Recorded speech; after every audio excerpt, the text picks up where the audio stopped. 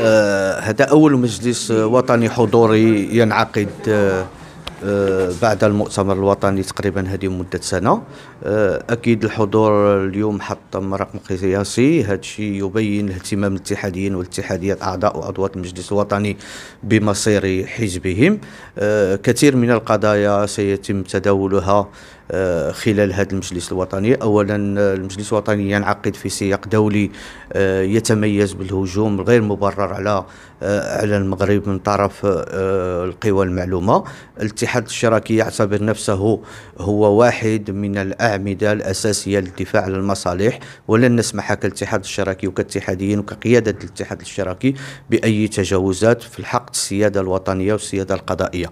كذلك المجلس الوطني سيناقش اليوم آه، المحطات التنظيمية المقبلة. الاتحاد الاشتراكي مقبل آه، على تجديد هياكل إقليمية خلال هذه سنة 2023 آه، استعدادا بطبيعة الحال للاستحقاقات المقبلة والاتحاد والاتحاديين يعتبرون بأن عودة الاتحاد الاشتراكي للساحة السياسية خصوصا في الظرف الحالي والاختيار ديال الدولة الاجتماعية لدفع عليه جلالة الملك واللي كان الاتحاد الاشتراكي منذ حكومة عبد الرحمن اليوسي سباق لإقرار آه، عدد من القوانين وعلى رأسها القانون ديال التغطية الصحية. الاتحاد الاشتراكي يعتبر نفسه حزبا وطنيا مؤهلا للمساهمة في الإقلاع وفي الدولة الجديدة وفي الدولة الاجتماعية اللي المغرب آه، من المؤكد هي رهان وطني كبير.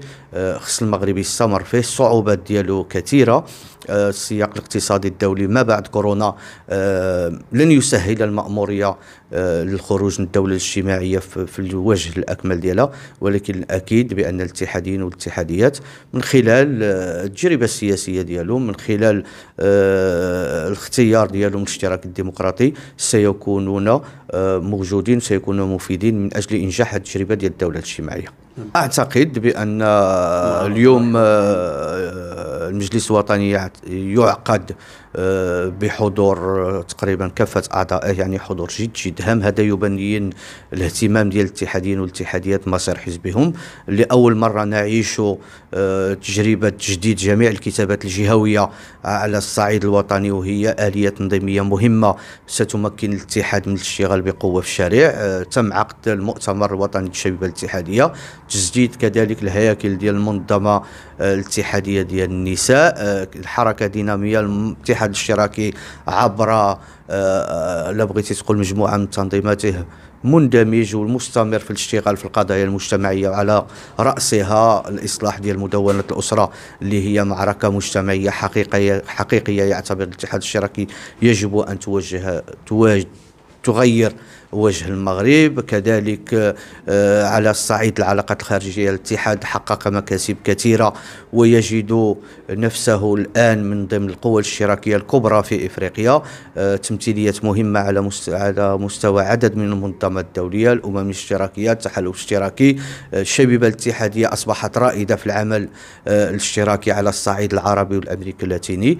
نشتغل على برنامج طموح بالنسبة للسياسة الخارجية ديال الحزب. كدبلوماسية موازية فاعلة واستباقية. نشتغل على برنامج آه، سيكون من المؤكد برنامج طموح وسيساهم إلى جانب طبعا آه، البقية القوى الوطنية إلى جانب المجهود ديال جلالة الملك.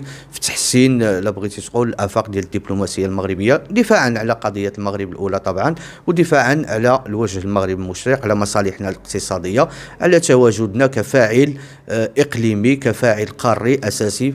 في التوازنات الجيوسياسية في المنطقة.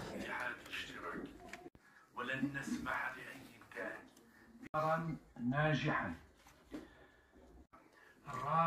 في عقد اجتماعاتها وفوز